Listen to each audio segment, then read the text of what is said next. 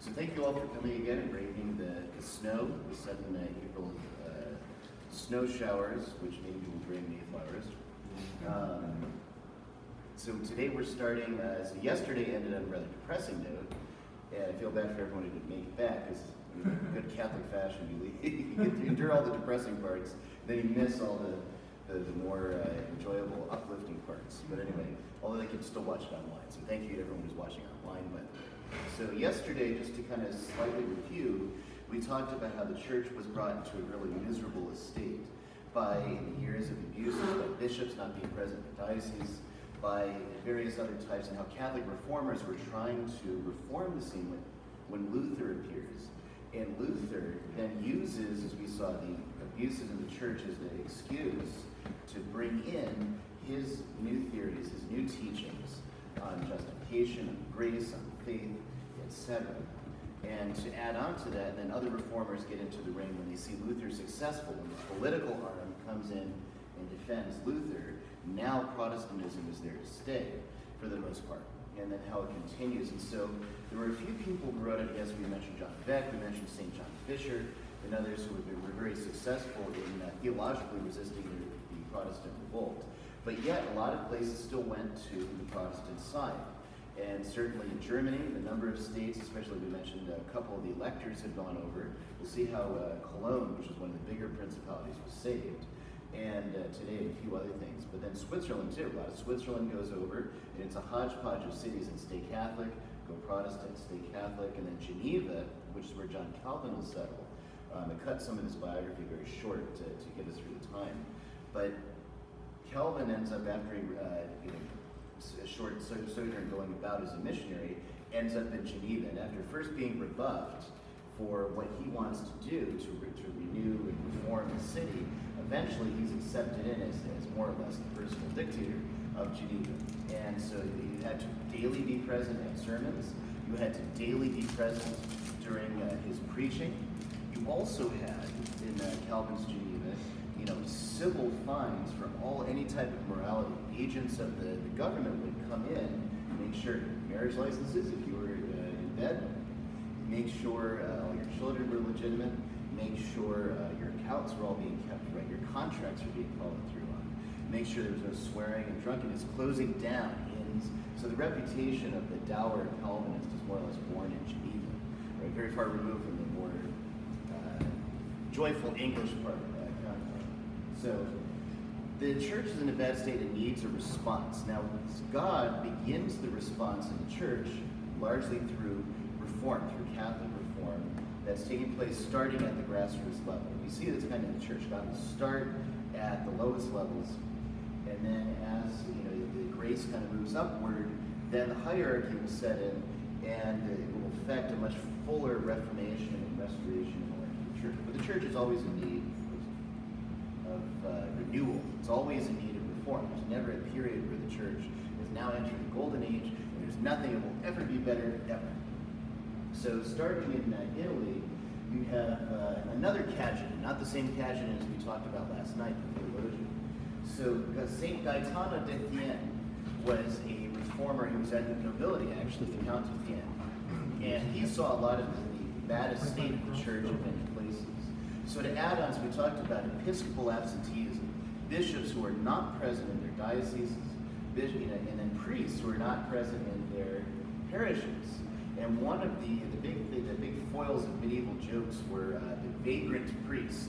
So you have the priest who comes in, and his salary, his pay, is being siphoned off by the administrator of the diocese, who's been put in place by the bishop.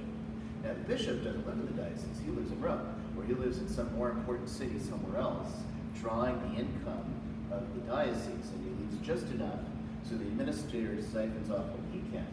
And then what's left for the clergy is often nothing, usually reduced to poverty. So the vagrant priests will end up running around, and so they're, they're featured very prominently, a lot of the jokes. They're the ones in the taverns drinking and pouring along with the rest of them. So this is not a good thing. So the, the end, Cajetan, St. Cajetan, to not be confused with Dominican we saw last night.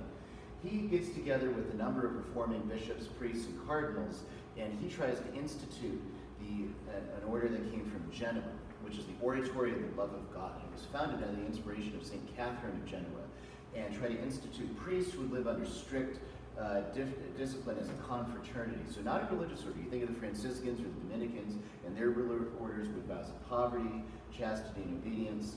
I mean, the chastity one's one of those, all priests have to do it anyway, whether by law or by vow.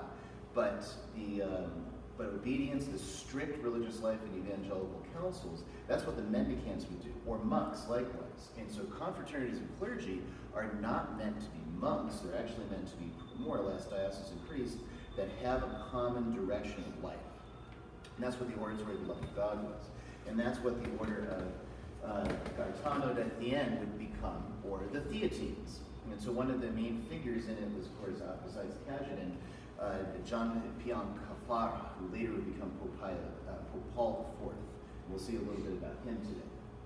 So one of the things that the Theatines would do, I didn't didn't pull it correctly at all, um, is the hospitals. Hospitals were a miserable place. You would have a hospital set up in charity, and then it would be very poorly staffed. So you think of hospital today, you get all the staff running around, you get all the machines, and lights that blink, and various things. And at least American hospitals can tend to be very comfortable.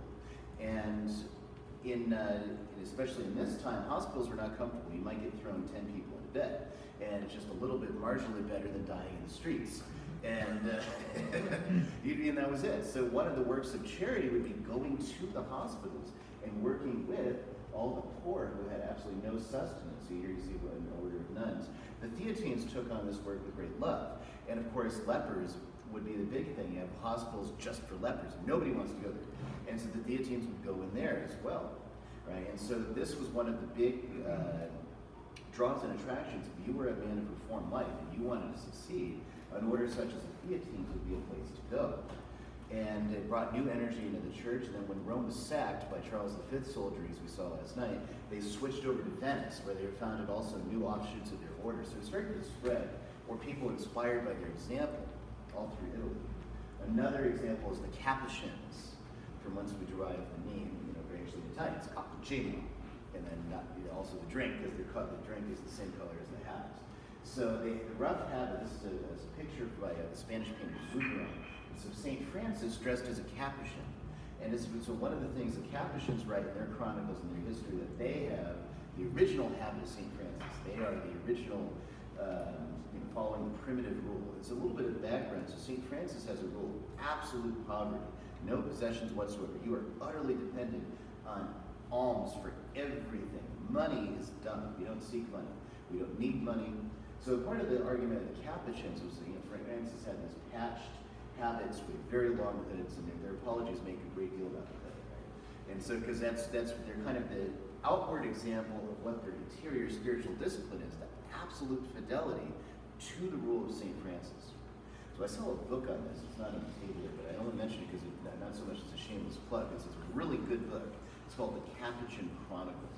And so it goes through a lot of these types of, uh, you know, history behind it, the spirituality in place. And so it starts from a man named Matteo Bascio, who is a, a conventual Franciscan, and he decides their order is just too lax, so he gets permission to be a hermit. And he feels the call, the inspiration to find found a monastery where Franciscans can live the pure rule of St. Francis without um, departing from it. And it's interesting is that there's so much opposition, even in the days of St. Francis himself. If you read A Good Life of St. Francis, there's opposition to the rule right then. Brother Elias, whom uh, God had revealed to St. Francis, was supposed to be his successor. Even though he wasn't going to keep the rule purely, he wanted to mitigate it and allow them to take in certain things and wanted to, to, to, to modify the, Francis's rule. So, and eventually that gets done throughout the ages. You modify it, modify it, say, okay, well, you don't have to do this. And the popes would come in, okay, that's too strict. Well, let's take this back a little bit. And so the Capuchins suffer a good deal from the OFMs, from the, the Order of uh, Friars Minor, because they, um, they, one, when you're living this, this holy life and you're living the pure rule of St. Francis, it stands out.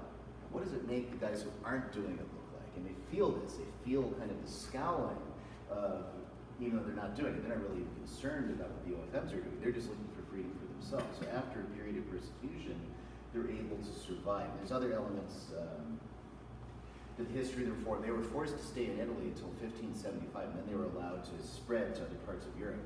But it was a phenomenal reform, and you have the um, houses all over the south of Italy and, and uh, central Italy of Capuchins. Um, you sometimes, or well, these days a lot, you hear about how Francis, he's this like um, hippie who loves animals and stuff like that. Would you just uh, speak a little bit on what was his actual spirituality? Okay. Um, yeah, the, the hippie, the Francis, the, the uh, brother, son, and sister moon Francis of uh, that particular movie, um, which is fun to watch. It has Yes. good music, but Francis didn't spend that much time with St. Clare. And although he was joyful, he wasn't quite, you know, uh, having the, the 1960s experience with the movie shows. Um, but in reality, Francis's spirituality is it's rooted in a simulacrum of the worldly knighthood that he failed in in life.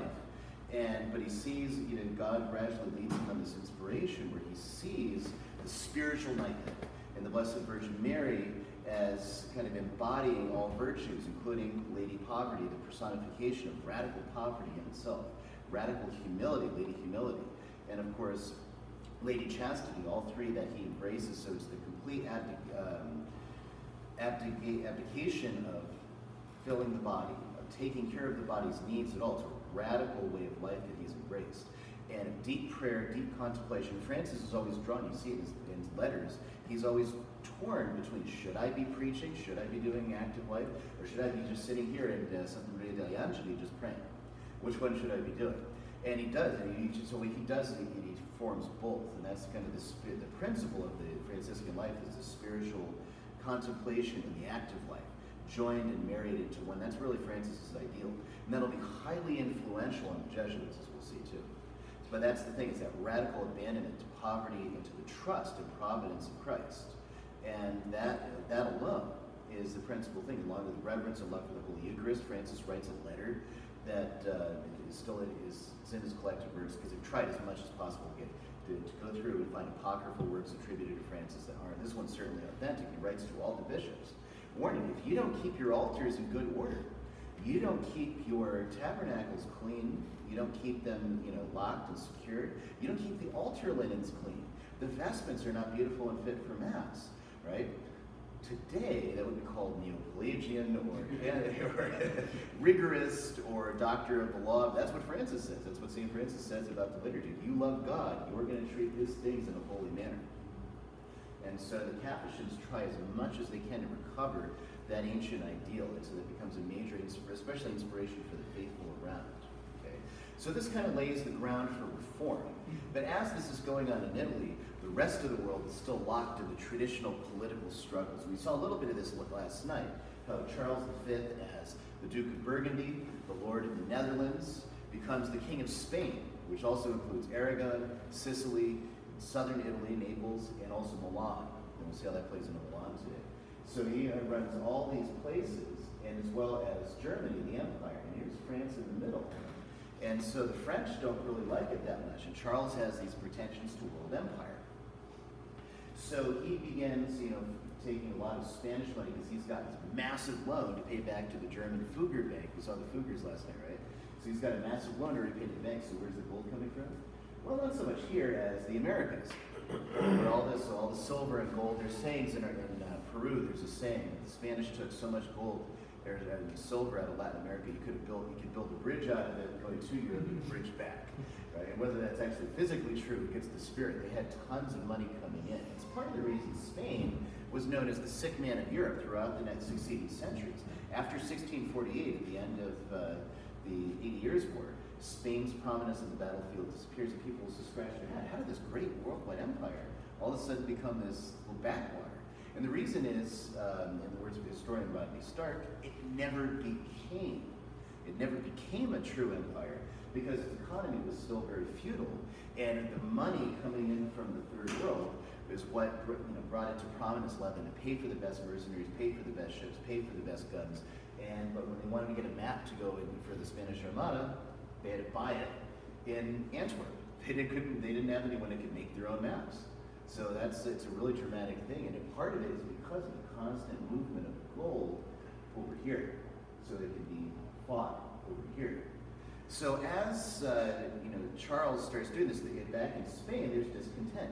The Cortes, which is the, the Parliament of sorts in Spain, they get very upset about the, their king's away and the prestige and money and wealth and the power of Spain is being frittered away to fight the French for German interests. So the Spanish aren't really happy about this. So there's like one thing to do for it.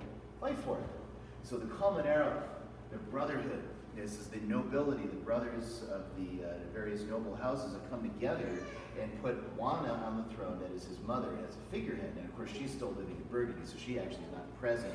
But they, so in her name, they're going to revolt from Charles V and you know put her on the throne until they find a suitable king to run it and let Charles have Germany. And so this puts Charles in a really big bind because he's over in Augsburg and he's making his preparations for war on the French, and he has no way to get to cross the Pyrenees to get back into Spain across uh, French territory. He can't do it. So he has to go to England, hat in hand, to his aunt, Catherine of Aragon, and Henry VIII, who we saw last night.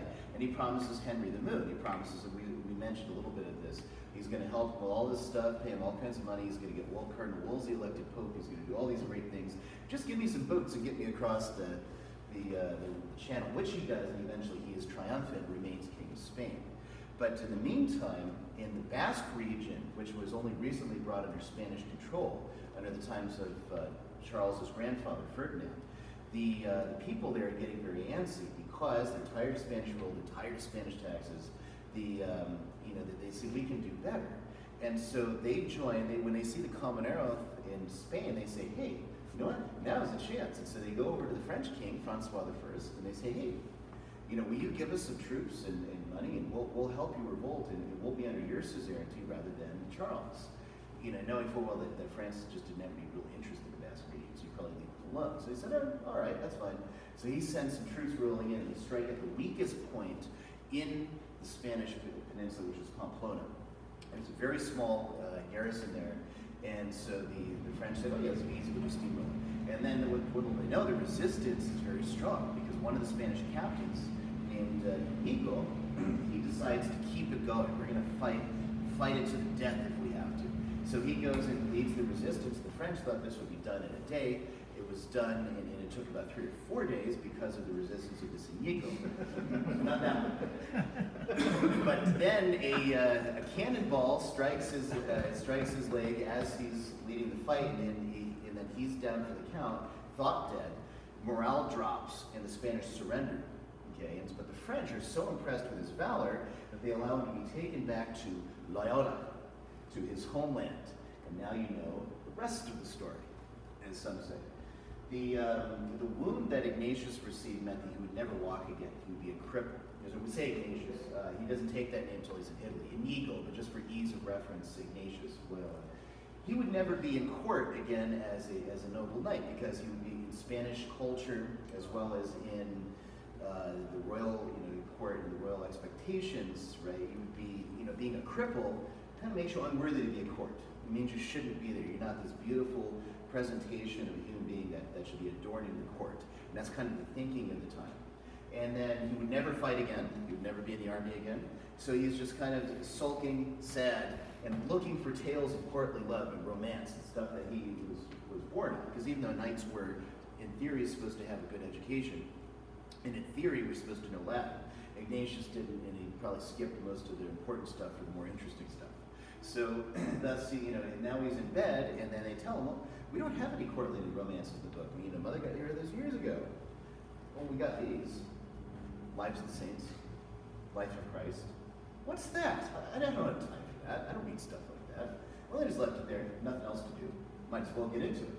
And so he does. And so the Life of Christ, which was a German word that was translated into Spanish, and then the Golden Legend, which was a, a various ancient accounts of saints, some apocryphal, some true, and all mixed together in one big uh, book, beautifully written and beautifully illuminated. So Ignatius is just reading and reading, and he's just, just blown over, especially by the life of St. Francis.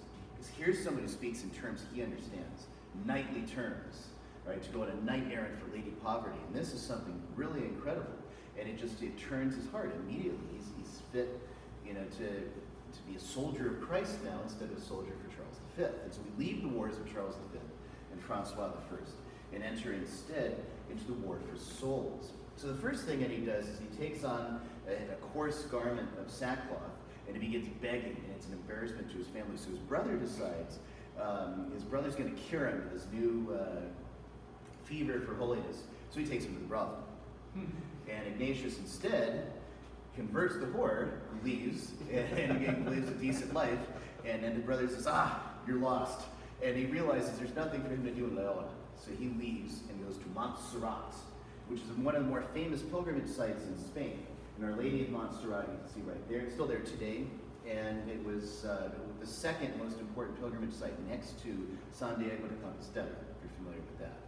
Um, the, so when he gets there, he gives up his sword, he leaves all of his, um, his very noble clothing in front of the statue of Our Lady as an offering. So this is also what, what a knight would do if giving you know, his support to, uh, to this lady, to a noble lady.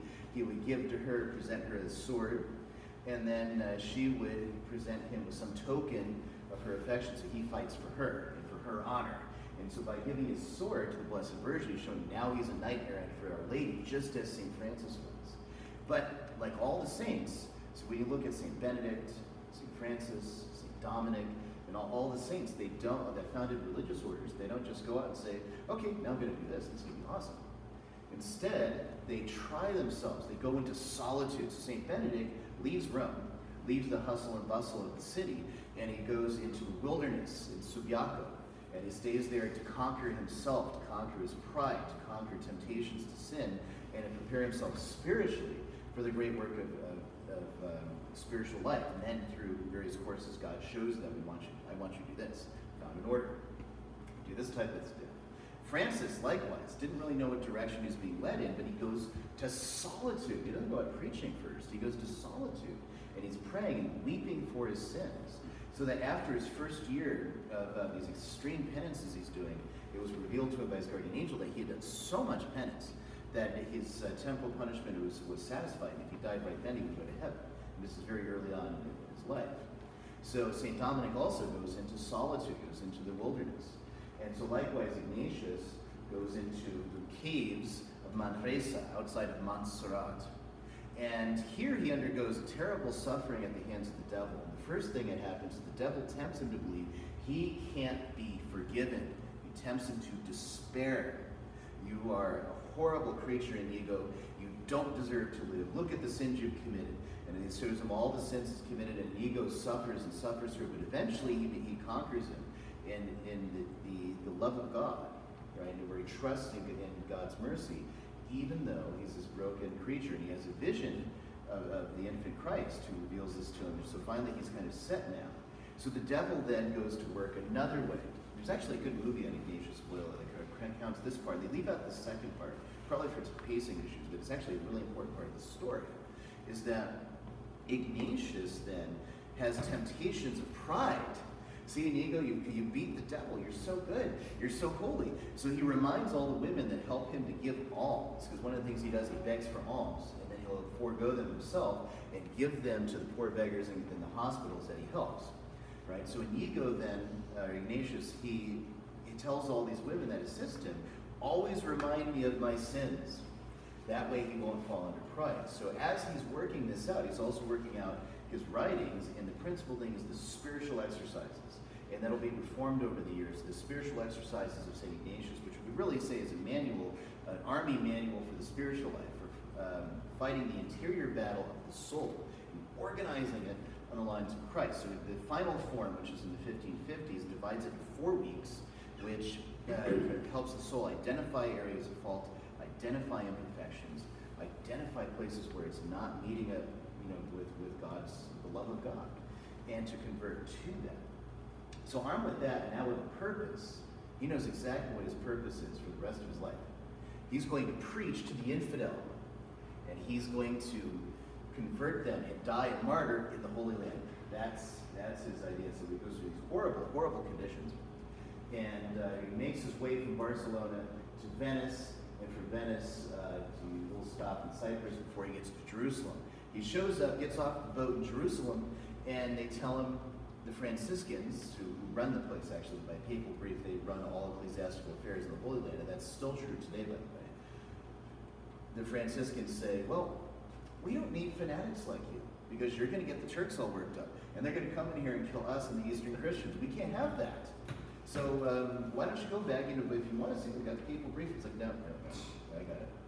All I'm going, you know. So he gets back. Uh, he has to beg for alms to pay his way. Gets on the boat, goes back. And so now he's trying to figure out what to do with his life, and he gets himself in uh, to Barcelona. So he decides he needs an education and to become a, some some use to the church. So he goes to Barcelona and he learns Latin with all the schoolboys, right, that are more than half his age. He's an old, you know, uh, crippled soldier, they're all young kids. And of course, according to the, the stories, they all taunted him, made fun of him, because all these kids are like 14, 15, or younger. And here he is, an old man, coming in to learn Latin, right? And so this is part of the first step of the medieval form of education that had been slightly revised and reformed by humanism, which is the trivium that is Latin. Latin grammar is the basis of all knowledge and education. And then you move up to the next level, which is logic, right? How much of this Ignatius would have gotten before trying to get to university, we don't know. But logic is the next step where you, so you, now you learn how to speak, because you learn Latin grammar. Now you learn how to speak correctly with logical argumentation. And now that you've learned that, it's going to be rhetoric, how to sound darn good while you're doing all the first two. And that's the whole point of the trivium. And then you go for further studies, which in the humanist tradition is planted with kind of studies of the classics, ancient writers that wrote in geometry and in math, because the, the quadrivium then is astronomy, music, art, and mathematics. And mathematics typically be sacred geometry throughout the Middle Ages, or basic arithmetic. And now you would study an ancient text on geometry, so also to improve your Latin style and things of this sort. So how much of that Ignatius got, we don't know. Um, but he got enough where he could go to the University of Alcala, which was founded by Cardinal Jimenez, we saw him last night, and then the University of Salamanca. And I had to cut that out of the presentation, it's going to be too long. But Salamanca was founded by uh, Francisco Victoria, who's a Dominican, and it was a, uh, one of the parts of the jewels, actually, of Isabella and Ferdinand's work, and along with that of Cardinal Jimenez, a new university devoted to the study of the humanities, the, the true liberal arts, but in the Catholic tradition not uh, according to a lot of the pagan uh, movements that were going on in Louvain, Basel, and, and, and uh, Cambridge, and other places. So now in Salamanca, Ignatius gets there he's taking his courses in philosophy. And then what happens is he's teaching publicly, you know, mostly catechism and other things. He's also teaching people principles of the spiritual life and giving them his spiritual exercises. He's attracted companions that follow him. They even wear similar habits. So the Inquisition gets involved. This is dangerous stuff. What if we have a little Lutheran coven forming here? We can't have that. So they get into it, and they find, of course, he's not a Lutheran at all, but just odd. He's so devoted. And I don't know, some of his utterances just seem a little new. We got to investigate it. And as they look, at the Inquisition looks into it, they find, okay, you know, this is okay. And they look over his notes, and, and he explains his, his spiritual progress. And so they give him a clean bill of health, more or less. And then but he's not allowed to teach. So after determining that you know Spain's not ready for uh, the kind of ministry that he feels called to do, he goes to Paris after uh, after uh, begging again his way, going on foot with a donkey, a long, arduous journey across the Pyrenees with uh, you know on barefoot through the snow. So you can think of the snow here. So think your way in here like Ignatius uh, making his way to Paris. And in Paris, he finds the famous University of Paris.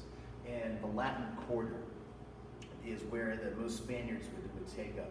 So he had, uh, there was another Spaniard that borrowed some money from him and then took off and never paid back. So he was in need. So he took a couple of jobs in the city and sometimes at night working at mills, which is very uh, drudgery uh, form. Uh, dr- uh, it was very arduous form of work in those days, much more so than, than today. And so he's doing that. And then he's doing his studies during the day with very little sleep to earn enough money. So he manages to find a couple of uh, students to take mercy on him. So one is uh, Peter Faber, who's a priest, and his roommate was Francisco Javier, another Basque, whose family fought against the Spanish in the, in the during the Comuneros revolt. They'd actually invited the French in. They had actually met at his castle, his family's castle of Javier, And they had, uh, you know, so Francisco left from the, the uh, Pamplona in that region, okay, from the Basque area, over to Paris. He can get a great degree, get a great, you know, uh, orders, great world-class education, and come back as a great magnet of the place because was manners and culture and all these things. That's what he's looking to do.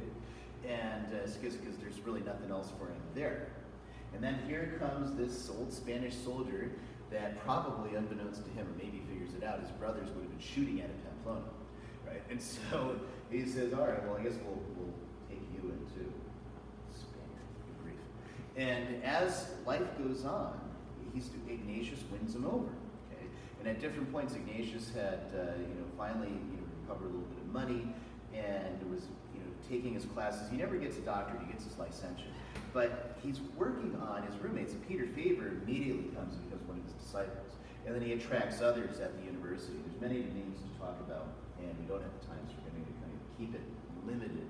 But Francis Xavier is hanging out. What he's a famous sportsman. He's good at the high jumping, so he jumps over the walls of the Latin Quarter after curfew, and he gets out to the seedier places in the city, and that's where he spends his time gambling and talking. And that's of course where most of the Lutherans and the, the proto-Calvinists are meeting, and that's who Francis thinks his friends are. But Ignatius is gradually putting doubts about all this in his mind, and he's starting to wonder whether these guys aren't holding a really questionable doctrine. And then comes the affair of the placards we saw last night. Calvin pays uh, blasphemous uh, signs and, and posts all over the city about the Blessed Sacrament, about relics, about uh, the saints, and so the, the, government gets into in the gear, burns or executes the, the, Calvinists wherever they find them. And Francis sees a lot of his friends being hanged, being burned, being uh, beheaded, or whatnot. So you know, maybe these guys weren't exactly the company I wanted. So along with the the uh, other companions that Ignatius has got along with him, they all make the spiritual exercises together. And Francis Xavier look Xavier looks at all this and he says Ignatius says to him, What does it profit a man to gain the whole world but lose his soul? this is, a, you know, Xavier's kind of goal is to gain the whole world, to be this great cosmopolitan guy, to be kind of the biggest priest over in, uh, Nevers that everyone looks up to. And now he's like, Yeah, what is all that worth anyway? And so, so here's Peter Faber presenting them the Blessed Sacrament. They're all making their oaths to form uh, the company of Jesus. And that's what it was originally meant to be called. So when they rendered it to Latin companion, they looked at, they didn't like a lot of the renderings in Latin, so they went for Societas, Society of Jesus, hence the, the SJ. And uh, mentioned Jesuit.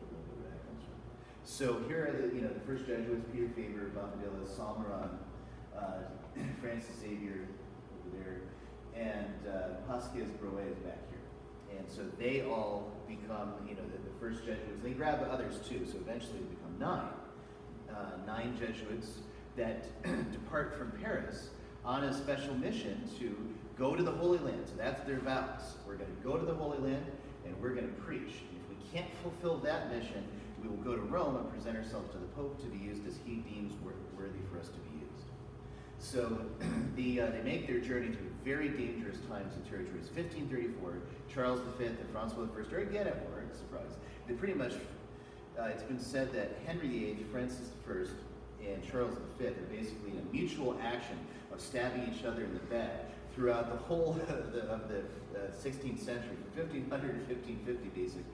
Or, uh, where it starts with Henry VIII, 1509, and then he goes on. And so it's just, you, know, you hear Charles and Francis are at war, surprise, who would have thought? So they have to wander. Now, they're Spaniards mostly, wandering in the midst of French territory. They're the enemy. Doesn't matter that they're in, clerics, they're tonsured. Uh, Faber's got his doctorate, Xavier's got his doctorate, Salmeron's got his doctorate. Ignatius doesn't get a doctorate, he gets a licentiate. So he learns just enough. So he's not a great scholar. What he is is a great leader, not just as a military man, but now as a leader of souls, because he really gets how to lead and direct people. And so he's very good at the management of people and very good at focusing on uh, you know, how the talents of someone is spiritually going to be best fit in this place or that one. And so that's one of, one of his chief virtues rather than scholarship. So they make their way into, into Venice, where they're waiting for ships to take them to the Holy Land. None are to be found. Why? Because the Pope, Charles V just made a, a you know, has concluded matters of peace in Europe, and they're making war on the Turks with the Venetians. And so now no pilgrim ships are going to go because they'll be caught and they'll be enslaved. So the result is, well, uh, what do we do now? Well, let's make our way to Rome. And on the way, Ignatius stops and he has a vision of Christ, and he tells him, um, Rome propitius ero vobis. I will be merciful to you in Rome. And the word propitious, though, can also be rendered beneficial as well as merciful. I will be, helpful to you there. It's going to be a good place to go. And these, you'll recall these words later, this fits in heavily into Jesuit iconography because of the later events that happened. So he gets to Rome and he presents himself to Pope Paul III. And Pope Paul III is a man, is, is, there's the right man at the right hour that the church needed. And uh, they wouldn't have thought so if you looked at it 20 years earlier. So Paul III sees these guys come in and they protest, uh, profess utter obedience and loyalty to him, to serve the church and all these things. Wow, at this time with humanism and all, all the people doubting even the divine nature of the papacy, the growth of Protestantism, here's a group of priests that want to devote themselves to the service of the church and obedience to the Pope especially. And so, wow, um, why don't you uh, skip out on this Holy Land thing? You know, just don't worry about that. Stay a while. It'll be great. And we, I've got so many projects for you to work on. And indeed, Rome was in shambles at the time. Remember the sack of Rome, 1527. So there's rebuilding projects everywhere, but spiritually it's still in shambles. It is only gradually seeing the reform in groups like we mentioned, the Capuchins, the Capuchins don't even live in the city. It's rather the repute in it. And the Theatines.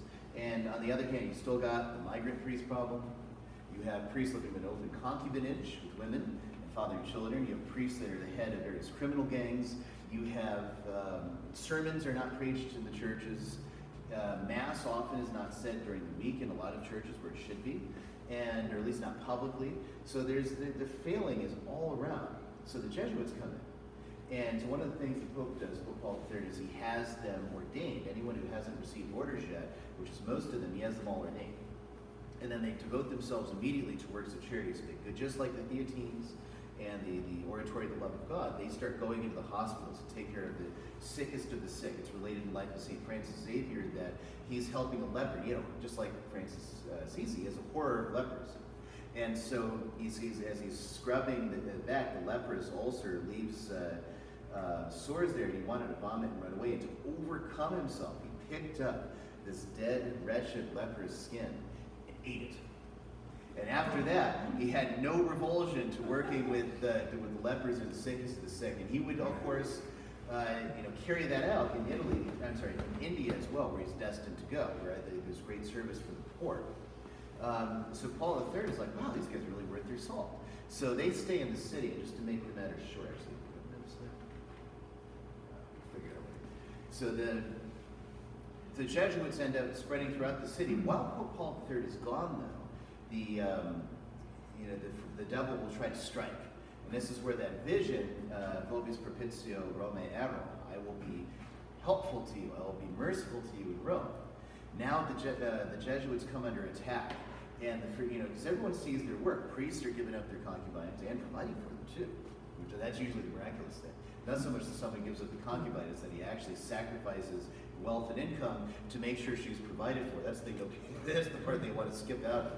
And um, then all of a sudden, priests are giving sermons in the church. Spiritual conferences are happening. All these amazing fruits of renewal are taking place because of their, even though they're preaching in broken Italian, largely it, it's, it's hitting home spiritually. And so now an Augustinian priest in the city who had Lutheran leanings starts floating various rumors about the Jesuits, and he finds out some information and details that, and don't you know that this Ignatius has been before the Inquisition in every city he's ever been in, including Paris too. I left that out because of time and brevity. But he's, you know, but he's also always gotten a clean bill of health. So, he, so he, this Augustinian priest accuses them of heresy and so many other things. So they're dragged in before the Roman Inquisition. They're put in jail, and so they say, "That's all right. We want, you know, we'll take a trial for the Pope." And they, they deal so humbly in the prison, thanking the jailers and, and praying the entire time they're there. The jailers like, "Wow, they're like the normal kind of dissolute reprobate heretics and things we get. So they um, eventually that the, the case is put for the Inquisition. Ignatius explains everything, and they look at it as, oh yeah, that's completely fine. All these charges were false. So they're let go. Now, on the other hand, uh, this particular Augustinian, can't recall his name at the moment, but he ended up being ends up being outed for his Lutheran leanings, and he's thrown out of uh, the order. He ends up fleeing to Germany, where he becomes a Lutheran. So the, that attack, you know, foundered. And the Pope goes out of his way to provide for the Jesuits. Part of the reason is Pope Paul III, Cardinal Farnese. He starts off like most cardinals. During he actually is a former Borgia cardinal in his teens. He's like 15 when he's made a cardinal by the Borgias, by Alexander VI, and it takes part of the dissolute life of Alexander VI's court. He has a couple of mistresses, he has biological children, but once he gets to about his mid-20s, he straightens up. He realizes the needs of the church, and so during the time of Leo X, he actually becomes one of the major reform cardinals and starts linking up people like Cajetan, like uh, Jean, uh, uh, Jean-Pierre Carafa and others that are really focused on reforming the church. And then he's a front runner for the election in uh, 1523. He loses to the Medici, and they, Clement VII becomes pope, and Paul III used to quit. He took 11 years of my papacy, but he was the man for the hour, and he knew what needed to be done. The very first thing is reform of the church. And the first thing is you need men to do it. So a few good men.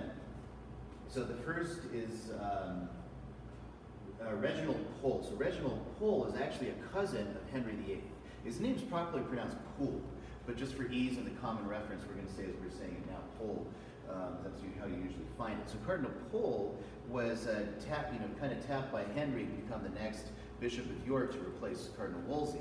And then um, he ends up getting in a scuffle with Henry over the question of the divorce, where and then, and then he clarifies to Henry, well, wait a minute, if we say she's queen today and not queen tomorrow, aren't we throwing the whole realm into danger? And Henry's like, okay, that's satisfied. He's not one of these crazy guys. But, but Pole sees the writing on the wall, so he gets out of the country. So Henry, in revenge, kills his mom, kills his mother, who is a, who is a blessed, and then sends assassins into the continent to kill uh, Reginald, but he makes his way to, uh, to the Pope and is constituted a lay cardinal. Eventually he does take orders, but in the meantime he's a lay cardinal. Uh, I mentioned him twice, Jean-Pierre Carafa, the future Pope Paul IV, will become the half-mad, uh, tyrannical Pope Paul IV. But in the meantime, he's one of the foremost reformers in the church. He's also a co-founder of the Theatines and very, um, a very devoted cardinal, especially to wiping out nepotism and a lot of the abuses of the church. Gaspar Contarini, another great reformer, who would be one of the principal cardinals sent into Germany and to manage the Council of Trent. St. John Fisher, we mentioned last night. Now, he never wore cardinal robes, the cardinal's robes. These are a posthumous picture. He was in prison, and Pope Paul III thought that such a great churchman would be a tragedy for him to be killed. So if I make him a cardinal, surely Henry VIII won't kill him. And that just torqued off Henry VIII even more, where he quipped, let the Pope send his hat when he will, although he'll have to wear it on his shoulders. So by the time it did arrive, uh, he was already dead. Um, but Fisher is the, is the only cardinal martyr. There's never been any other cardinal that was martyred for the faith, except for Fisher. Uh, although I should check, and maybe one in China was, but uh, see. Losing track who's who. Okay, so this fellow is Giberti.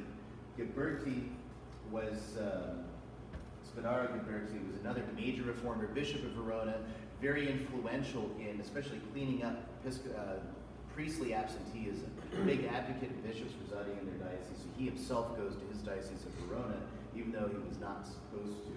Okay, and many others, but Snowden at times are going to move. Um, but all of these cardinals will end up being big advocates of church reform. Will end up working very, uh, very carefully, and very closely with the Pope so they make a memorial to Paul III. What's wrong with the church? The root of all this trouble is that some of your predecessors looked about them for guides, not to what they ought to do, but what they wanted to do. Guides who would prove to be lawful, whatever Pope, um, whatever popes found it convenient to do.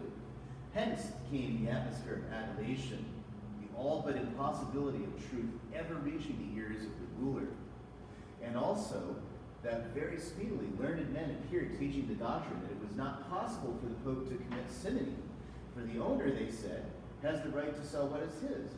and also that the Pope, what the Pope wants, whatever it may be, is the rule by which all his actions should be guided. It is from this, as from the Trojan horse, O Holy Father, that have come forth all those evils half driven that have driven the church almost to despair of recovery. Evils, the reports of which among the infidels have caused such mockery and blasphemy of the very name of Christ. Through our fault, we repeat, Holy Father, our fault. You have seen this, Holy Father, and have acted accordingly by laying upon us this grave obligation to make a faithful report, binding us by a special oath of excommunication. It's not lawful for the Pope, the vicar of Christ, to make any profit out of the use of the power of the keys granted to him by the Church. The most ignorant, the most wretched types, men of the most abandoned lives, boys even, are nowadays ordained, and to the priesthood, to that character in which Christ is principally represented. In granting of ecclesiastical livings, above all in appointments to episcopal sees, it is the convenience of the nominee that is considered, not the needs of the flock of Christ.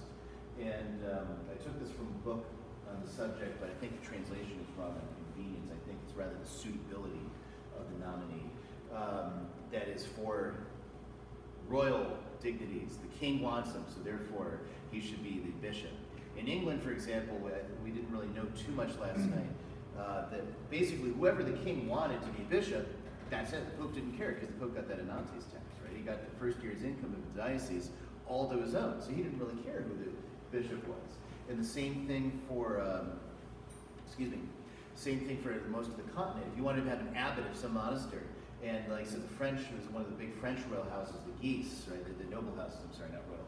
The um, the Guise would sometimes have like a two-year-old consecrated as the abbot of some monastery, and all the ecclesiastical revenues goes to the family, and uh, the kid kind of does whatever he's doing. So lay cardinals, there were a lot of lay cardinals, and a lot of them that were only so because they were from some royal family, and then they become the protector of some order, or they might even be nominated as a bishop of some place, but not actually take the orders and become the bishop but they'll get the revenue. And then they could later resign from that, get married, and uh, then keep the money in the family, as it were. And we'll see this kind of, you know, among certain individuals.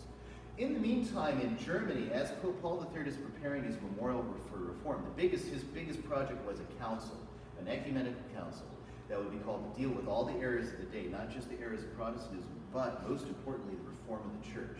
Because Paul III felt that if you had a council that came in with these uh, canons, with these reform decrees, people would have to listen. It would have to change the nature of the church. So, uh, not the nature of the church, but the situation in the church. The Augsburg Confession. So, in the meantime, in Germany, Luther, uh, who was kind of like the spiritual head of the movement, is going kind of in and out of phases where you want to deal with him and not deal with him right? Because sometimes, sometimes he would be drunk, sometimes he would be normal. It really what was probably, according to a number of biographers, he may have been bipolar. And this would explain the radical shifts in his personality, even to his friends. Calvin had attempted to write to contact Luther, and all of the, uh, the correspondence was being filtered through Melanchthon, through Philip Melanchthon. So that it's very likely Luther never even saw Calvin's letter, although he may have. And um, the, so what they needed to do now was Charles had invited them to Charles V, the emperor, the Protestants, to give them a statement of faith so that it could be examined and so that they, because Charles wants to try to solve the problem of Lutheranism in Germany. And this could be done, he thought, by having a special conference or even a German national council. So Melanchthon composes the Augsburg Confession, which lays out point by point what Lutherans actually believe. You know, and so, but that, some of it is a little bit disingenuous. For example, he says, it's, it's said in vain that we refuse to keep the Lord's Supper. Absolutely, we keep the Lord's Supper. And we indeed keep it better than Catholics do, right? Because we actually attend it, we preach at it, we do all these things, but we notice the definitions, though, he's using this word, the Lord's Supper. Of course, we keep it better than anyone else does. What they keep is not the Catholic Mass. It is something fundamentally different theologically and in terms of what, what it is that they say they're doing. So Charles V is inspired by this when he sees that the Protestants are willing to cooperate a little bit with him. So he organizes the, the Ratisbon or Regensburg uh, colloquy. Ratisbon is the, the Latin word for Regensburg. So the um, cardinal we have here is Colonel Contarini, we saw earlier, and his assistant. So they come to kind of manage this discussion between Philip Melanchthon and several other Lutherans and you know Catholics on the other side, John Eck uh, from Ingolstadt, some bishops, and a few others. And so they try to work out various ideas. And so one of the ideas that they kind of gets floated double, from the Catholic side is double justification. Okay, that uh, the, the sinner, of course, has um, who lacks any means to save himself just of his own works properly. His faith contributes to his salvation, and God's action imputes the justification to him. So two things go on at once. I'm thinking this could possibly work as a way to get the just, you know, to, to get the Protestants to accept this. That the faith of the individual is also useful in, in terms of his works, and so they, there's different angles that they were trying to take with that. Not exactly the same as the, what, what today is called double justification in Calvinism. And so the Lutheran side, they kind of accept it, but they don't. So whatever the Catholic side comes up with, see, they've already upped the ante. The Pope is still the Antichrist. The Catholic Church is still the whore of Babylon. So how can you have any meaningful discussion with the representatives of Antichrist? Well, you can't. But Charles V is still convinced if we just have a German national council, that will be able to solve the problem. And now this is what Pope Paul III does what? Pope Paul III is very, very suspicious of anything Charles V wants to do. Why? As Cardinal Farnese, he was present with Pope Clement VII when his drunken soldiery had sacked the city of Rome and burned it to the ground, including 10,000 Lutheran troops in Charles's army, who also do a lot of damage to the city, and they go through Julius II's apartments. And if you are familiar with like the Raphael rooms in the Vatican, right, right across from the School of Athens is the Disputation of the Eucharist. And right underneath it, they had scratched Luther's name into the wall. And you can actually see where they had scraped it off at one point. But they had, um, so graffitied that, that was the, you know, seen as this big affront that they do all this damage to the city. So Farnese remembers that and how Charles took advantage of it even while he was decrying and saying, wasn't my tell them to do that. Um, so he doesn't trust him. What happens when Charles V is all powerful? Then we have a problem. So I don't want him to resolve this problem for himself because what's he going to do? Is he going to create a national council? Because this is some of the stuff Charles is talking about. We'll let them, you know, we'll all be in one Catholic church in Germany where they have the Lutheran Catholic Church, we'll have our Catholic Church, but they hold their doctrines and we hold ours. So basically, he's going to heal the schism in name, but not in fact. That's the idea that he's got.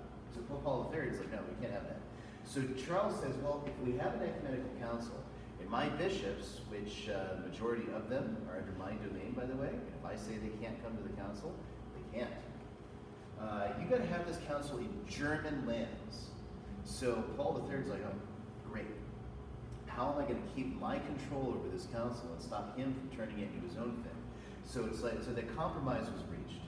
The city of Trent is in northern Italy. Which today it's of course part of Italy, in those times it was geographically in Italy. The residents are all German speaking, and it's part of the empire? And so this, you know, so it's close enough for the Pope to have some measure of control over it, and yet it's still in German lands. Trento. And so there's the cathedral there. Um, a friend of mine is a, is a Presbyterian pastor, an Orthodox Presbyterian pastor, and he always jokes, is if you go to Trent, the, um, the, the back windows, it, it's, it's north facing, so it gets a very small amount of sunlight. Why they built the cathedral north facing, I have no idea. But uh, so when you're in there, it's always it's always very dark in there too because of the, the, the arrangement with the natural light. So his joke was, you see, they couldn't see the light. and uh, nevertheless, Trent, um, because they saw the spiritual light instead. But anyway, this becomes the place where they decide to have the council. Now, part of the process, Pope Paul the, the Third had convoked the council, and nobody had come right when he first did it because he, he got a couple of bishops and not really anything.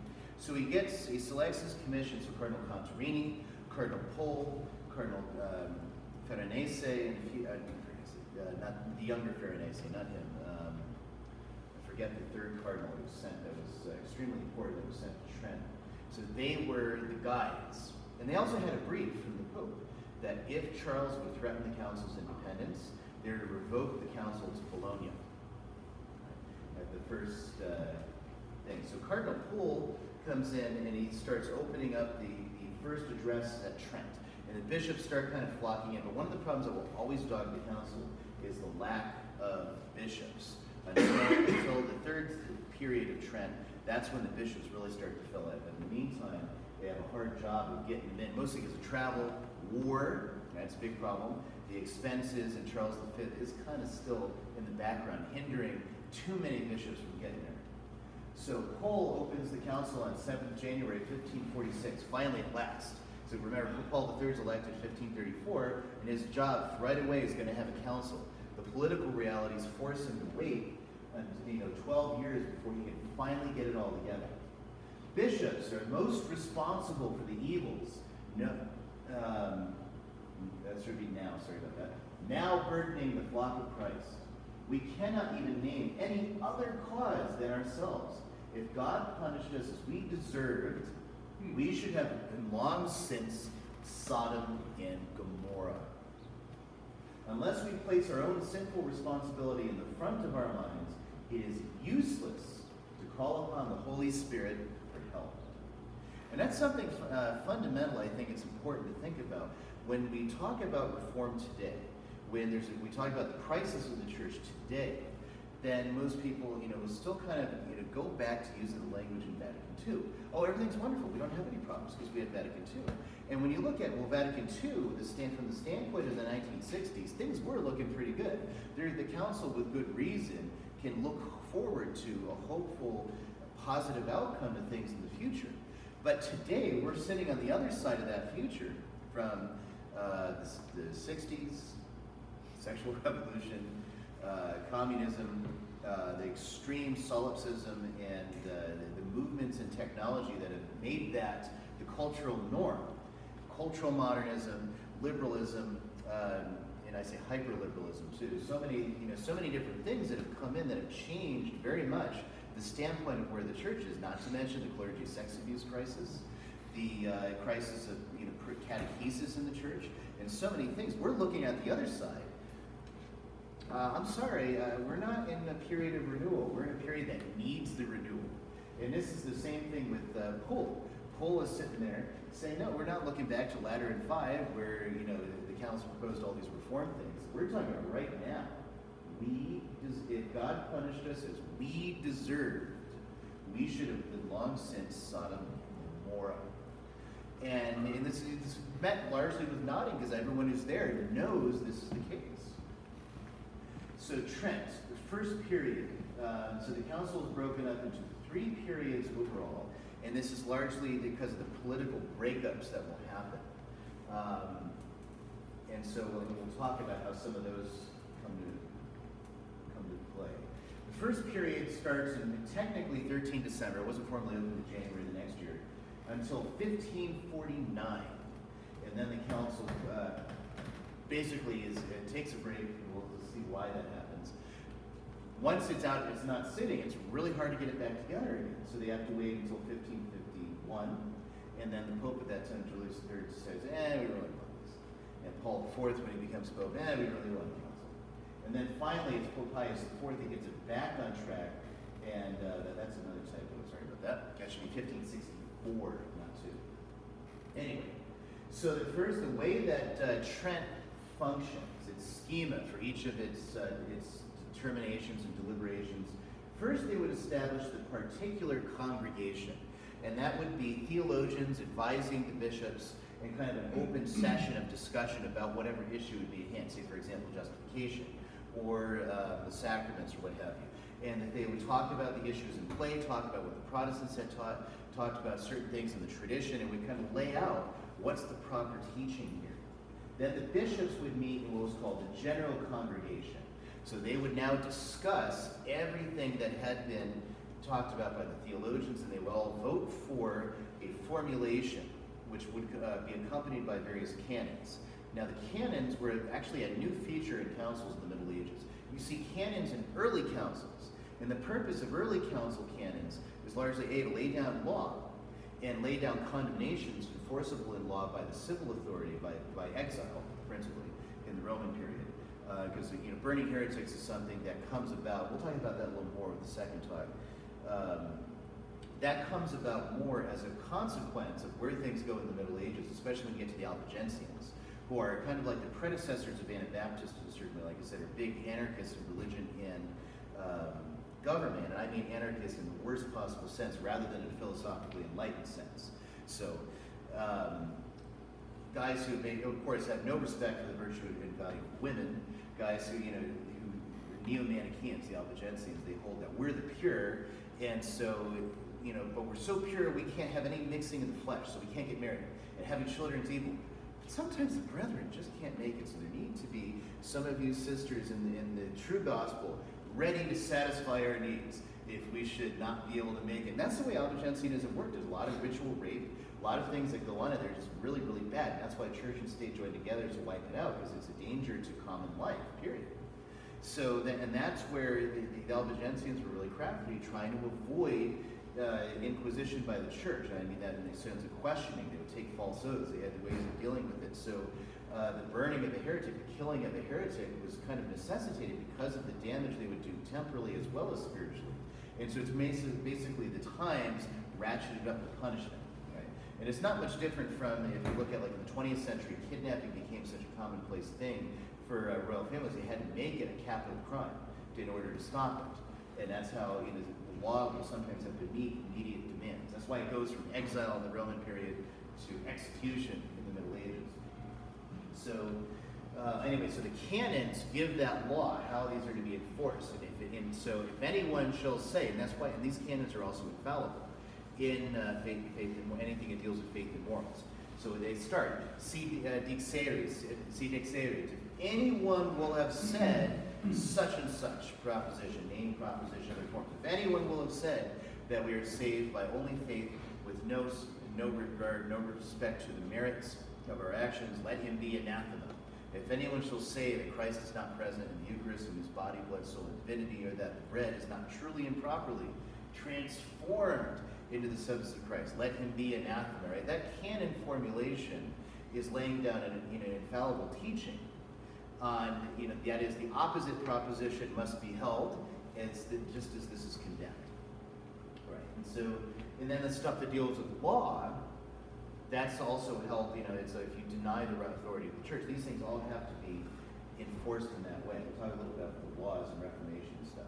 So the general congregation gets this doctrine, and the session is where they'll promulgate it. The session is where they'll promulgate that teaching formally, and now it becomes the teaching of the church. So, uh, so the various sessions that have the doctrinal output. So the first through third sessions are largely procedure and laying out the groundwork as well as reform. And here I've only included the doctrinal stuff for the most part. Uh, session four, the very first thing taken up against the Protestants is Holy Scripture. What's the sense of Scripture? What's the role of tradition? Right? These are all big, the big hot button issues. Original sin. Session five on original sin. This is one of the big things that's denied exactly in what sense original sin both governs us, both by Luther and by Calvin. So they had to deal with what the actual Catholic teaching is on original sin. Justification, right? So is man saved by just faith alone and Christ imputing unto him his merits? And, we, because we have belief in Christ, he will do that for us? Or are we, is there something else that's in our salvation? Is there something more needed out of us than just merely having faith? And so your starting point, of course, is in James, in the Bible. Faith alone will not save you. Right? It's the only place you find faith alone. He says it doesn't save you. And so from there, they're looking through the fathers, through the church, but also through St. John Fisher. And we mentioned him last night. So he was a very famous theologian in Europe in those times. His works were read everywhere, and that's why he wrote in Latin. And consequent of that, in complicated Renaissance Latin that he wrote in, uh, largely has not been translated except for that one book that's on the table back there. So that because of that, you know, most people are unaware of his thoughts, and mostly it's in this work called the uh, refutation of the assertion of the articles. So remember we said when Leo X condemned Luther, Luther reasserted everything. Well, Fisher writes a big, uh, massive 800-page book that takes every single one of those articles and Luther's explanation of it verbatim and then refutes it a very lengthy sections. It's extremely tedious to read, even in Latin. But it's also a rich source of Fisher's actual teachings even on matters such as papacy, like here on justification. So that was used actually as the guide. It's often said that the Summa Theologiae was put on the altar at Trent and saying that, you know, this is our guide, namely St. Thomas Aquinas. Well, here, uh, Fisher was actually used far more, and it's in the council debates. There's, there's several, there's hundreds and hundreds and hundreds of pages of documentation in the like manuscript documentation that's actually new within the last hundred years that we can go through. And it was a Jesuit, Father Edward Surtz, who discovered in this documentation that Fisher is referenced more than anybody else in the discussion on justification because he dealt with Luther's teaching directly and applied all the teaching and refuted. Because Calvin's even trying to exclaim St. Thomas for himself on justification. So you need somebody who was absolutely unequivocal and clear, and that was Fisher. Namely, that we do require, Christ does require of us meritorious works, that is, works of faith. So works are not required of us as if God were some divine employer. You're kind of punching your clock. You say, look, Lord, here's my time clock. See? Okay, so I got to give you merit now. That's not how it works. The, the council actually condemns that position. It's rather that, because it's Pelagianism, right? I can work my way to heaven. It's rather faith. Faith and works come together. So when you do works of faith, you gain merit for them, supernatural merit. That's what it means. But if you don't have faith, there, it's in a certain sense God's not interested, right? As far as conferring supernatural merit, it doesn't mean God doesn't think the work is good. It's you don't get supernatural merit for that. You can't unless you have faith, because it says in Hebrews you can't uh, please God without faith. So that's kind of the starting. So then they start off with the sacraments, what was meant to be a, a long discussion and treatise on all these sacraments. So they only get to sacraments in general. And that's a discipline in theology that considers what is a sacrament? What are its constituent parts? How do we know it's there? And what things would invalidate or validate sacraments generally? Right? How, how are the sacraments instituted by Christ? Right? So part of the teaching, Christ instituted seven sacraments, not two, as the Protestants were saying, but seven. Okay? Um, and so on and so forth. And it's not until the second period that they'll begin to deal with the Holy Eucharist. So 13, 14, 15 here, those are from the second period of Trent. And uh, then uh, it breaks again. And it's only in the last section you get matrimony, you get uh, reformation of the church, images, relics, uh, indulgences. And there's a lot more to Trent, too, than you get, even when you get like canons and decrees of the Council of Trent. That's only dealing with its doctrinal import.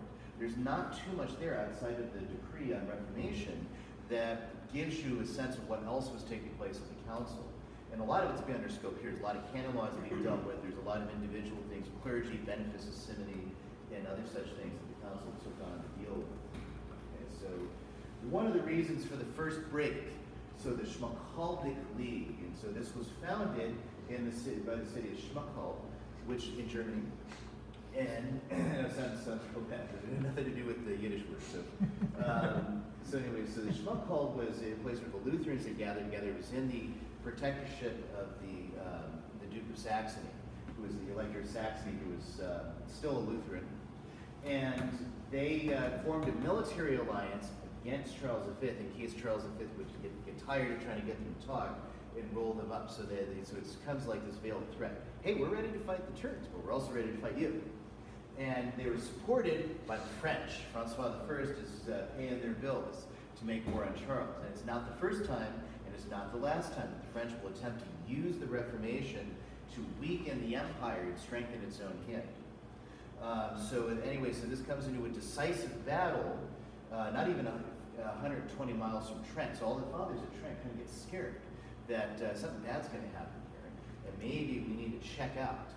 Uh, so just as Charles is defeating the League, they move off to Bologna. Now Bologna was a world-class city. It was really, it's also where the main, the Reformed universities dealing with civil law and canon law were founded. And so a hugely important thing for the medieval universities.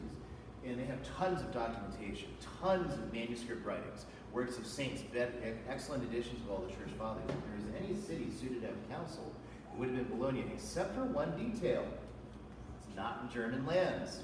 And Charles V won't have it. So the, the Council Fathers were asked to move to Bologna to be for safety in case that Charles V doesn't actually win. And so the legates who have their brief from the Pope saying, yeah, transfer the council if you have to, they move to Bologna. Charles is not a happy camper. He's really upset. How can you move to Bologna? How can you do that to me? Right? And so he gets ticked off and he wants to then have a German National Council. And so he and Paul III are like at the point, Paul III is read thinking, maybe it's time for an excommunication here. And although, what, what would Charles do? Maybe I better not do that. And Charles, at the same time, maybe it's time to, to, to make war on the Pope here. Or, well, maybe I shouldn't do that. Maybe that's not a good idea. So each of them come to that point of making a definitive break and kind of stop short. In the meantime, uh, he dies. Right? Paul III dies. Charles, uh, Charles gets good, but Paul III dies.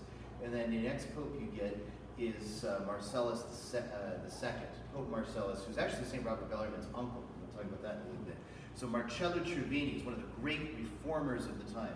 He really desperately wants to reform the church. He hates nepotism. Paul III, as much as he was trying to reform the church, get Trent going, he was still given to nepotism, and he still uses the papal office to benefit his family, as well as his uh, grandsons from his uh, former bad behavior when he was a cardinal. So now he's, um, you know, Marcellus gets in there. He only reigns for 30 days, but he, he tells all of his relatives under pain of excommunication, you will not come to Rome. I don't want you here. Stay up. you know, we're going to reform the church. And as he's getting ready to do that, he dies. And we get this guy. It's one of those big mysteries of the workings of God's providence. So Pope Julius III. Pope Julius III is a big uh, road bump on the way to reform of the head. Um, and it's curious. He basically re- restores it to the Renaissance papacy. Anyone who wants dispensations, dispensations are back in. Um, he has a, a young boy who is named Innocenzo uh, that he makes a cardinal. That the, the basic, the, the general opinion of historians is they had synodal actions, including Catholic ones. And that was what the, the Curia were saying at the time.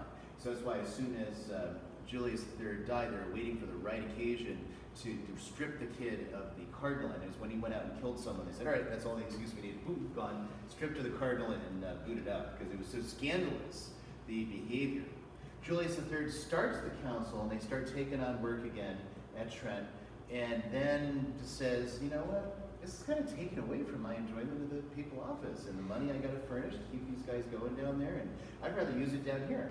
So he calls it quits on the council, asks it disbands it for for a time, and then you know deciding, oh, I'll let my predecessors deal with that.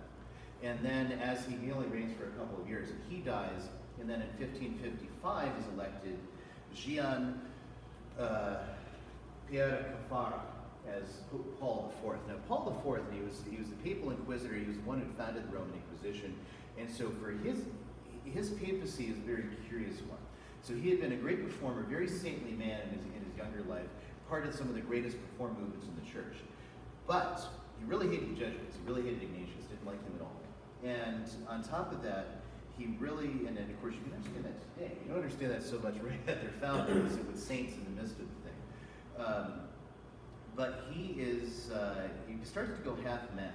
He is convinced there's heretics everywhere. So, for example, at the 1549 conclave, Reginald Pole was all from England, was almost elected pope. And then the, the, the opposition came from Carafa, who declared that Pole was a heretic. and couldn't be elected, but he had no proof for any of this. And as Pole used to hold to a certain theory of justification, which he abandoned during the proceedings at Trent, right? But Carafa was still convinced that Pole was a heretic, and therefore, and likewise Cardinal Moroni, uh, who had had uh, the slides earlier. Uh, also with Pole, he kind of tagged as the heretical party. We can't have them. So he's definitely convinced we got to throw these guys in prison. So first thing he does when he becomes pope, takes Cardinal Moroni and throws him in prison. So Moroni confesses that he believes none other than what the church believes. He swears in the Inquisition says, we got to let him out of jail. He hasn't done anything wrong. And Paul says, I don't care. He stays in prison. And he leaves him there the entire five years. He's in prison in the event he's uh, pope. And so, on the other hand, the severity that he takes on the government of the papal states actually served its purpose in reforming it, even though you know it comes through this very tyrannical method. So, any clergy whatsoever that had been uh, guilty of absenteeism, he just grabs him up and he uh, them and throws him in the galleys to, with the galley slaves and other criminals. Uh, any bishop that acts badly goes after him with a vengeance. Any bishop known to be guilty of plurality immediately sacks him, makes him give up one of the dioceses that he's on, is to pay massive fines and undergo massive spiritual penances given to him by the Roman Inquisition. Anyone that basically committed any kind of crimes while they were clergy, stripped, sent to the galleys. And within the Curia itself, there is an atmosphere of fear. It was probably the right kind of fear. So even though he's convinced there's heretics everywhere, and I got to get him. At the same time, he is rooting out all the worldly people. You're not going to be there unless you know you can stand guiltless before this guy, because otherwise you're going to be doing your stint as a galley slave. So, so it has that benefit in spite of the, the negative element. But he's extremely unpopular for this. And one of the other things is, and in England, Cardinal Reginald Pole is also the, the Archbishop of Canterbury and the main force behind the Counter-Reformation in England. And Paul IV wants him back in Rome to have a heresy trial and end up with a burning, which is kind of ironic given that in England Pole's overseeing the burning of Protestants. But that's exactly what uh, Paul IV wants done. And he also backs the French against the imperialists. So this is also turning into a bad situation in England. And, he, and uh, but in the end, Paul dies before he can get in, before Paul IV can get him into Rome, and Paul IV dies the next year. And in the meantime, 1558, everything's all happening at once. Uh, you know, Charles V dies, Henry VIII dies in 1547, Francois I in 1555, Charles V in 1558. And it's uh, the end of a, an era, really, about uh, 40 years. He's the Lord under which everything in Europe outside of France lives and dies for the most part, or some influence on it. So with his death, uh, this major force, you have, you have uh, the papacy, interfering with the papacy is removed, but now you've got the next uh, situation is uh, you know, Philip II and the Emperor Ferdinand. All right, so Philip II is Charles V's son, raised in Spain, born in Spain, and pretty much only speaks Spanish. Even his Latin is not very good. So he wasn't a particularly good student. Unlike Charles, who was a you know, Renaissance prince, spoke uh, multiplicity of languages, very cosmopolitan. Philip is very much Spanish, in spite of his heritage. Ferdinand is Charles V's nephew, and he, as Ferdinand I of the Holy Roman Empire, he now you know wields that end of the, the Habsburg power, right? So the dominions are divided. And furthermore, Charles V's uh, sister, Mary, is the queen, uh, is the sort of regent for the Netherlands. So he's kind of, everything seems to be kind of covered now. And you get to the next pope, Pope Pius IV. All right, and so the first thing he does is he wants to get Trent going. So Pius Paul IV, we just saw, wanted nothing to do with Trent. He said, better just let it go out of its misery. We don't need it um, I, I can do this myself, but papal bulls and excommunications.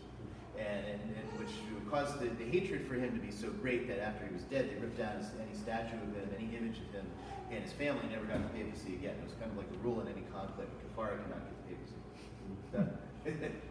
and uh, although again he served his purpose, and it was a good purpose because he just could not return to the scandalous life like in, you know like they had like under Julius III. Could not do that anymore. it was unthinkable because they'd been so, the had been so shaken up and changed. And there's saints in the background of this too that we'll see in the next part of this. So Pius IV saves the council. And this is, uh, so he comes to the papacy with his desire, okay, we've got to get this back in place. We've got to get the council to finally give this teaching that we need for the, for the church. So he lets Cardinal Moroni out of prison and makes him the principal legate at Trent, at the new Reformed Trent. And he uh, also works with the new uh, princes, and so does St. Uh, Charles Borromeo and St. Peter Canisius, right? They'll work with Ferdinand to convince him that not only do we need to get all these bishops coming back to Trent, we need to get all of the old, um, you know, sessions of the council renewed as one act, one part of this council. Because what Philip and Ferdinand both wanted was to separate the earlier Trent from this Trent and make it look like that just had nothing to do with anything. Let's start off fresh. And Paul IV is the one said, no, all that earlier work, we need it, and let's we need to include it in the council right now. And so that eventually, through the convincing of Borromeo and others, they do that. And thus, now at Trent, they get hundreds of bishops coming in, as opposed to the paltry 40s and 50s they had before. And so the, the theologians come together and they start working out the various issues that we saw, for example, in that laydown of the other sessions. Um, one of them I'm just going to read one, one section out of here. So the 24th session is called De Reformatione. That's our 25th. And throughout those sessions, there's various uh, descriptions of what's going to happen to reform the church. So, uh, the, you know, so chapter one of De Reformatione. The negligence of pastors of churches in the matter of residence in various ways is restrained. The cura animarum is provided for. I'm only read a small Since by divine precept it is enjoined on all to whom is entrusted the cura animarum, the, care of souls, to know their sheep, to offer sacrifice for them, and to feed them by the preaching of the divine word, the administration of the sacraments, and the example of all good works, to exercise father, uh, fatherly care on behalf of the poor and other distressed persons, and to apply themselves to all other pastoral duties, all of which cannot be rendered and fulfilled by those who do not watch over and are not with their flock, but deserted after the manner of hirelings, such as you see in John 12, they cite it explicitly there. Uh, the, sorry, John 10, 12, where Christ says, the good shepherd and, and, and my sheep, you know, the hireling on the other hand, he doesn't, he flees when he sees the wolf, right? So he's comparing bishops, the council's comparing bishops who do not reside in their dioceses to someone who runs away when he sees a wolf. Just, just gets out.